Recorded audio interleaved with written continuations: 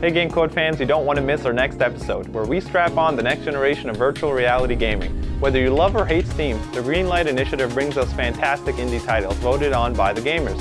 Stephanie shares her top 10 regions of Azeroth. Mike and Mike duke it out and review Injustice Gods Among Us. Be sure to check it out.